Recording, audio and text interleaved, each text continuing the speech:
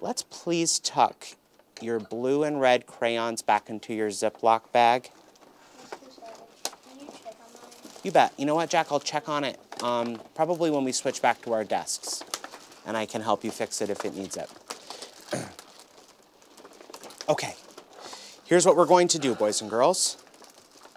As those get zipped away, you need your marker materials because I'm about to set you to work on a think pair share. And then we have evidence gathering to do.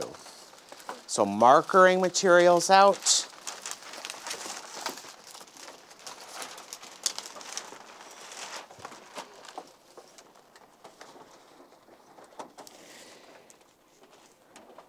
That would be sock eraser, dry erase marker, dry erase board. And Jack, thank you for tuning right in here this way.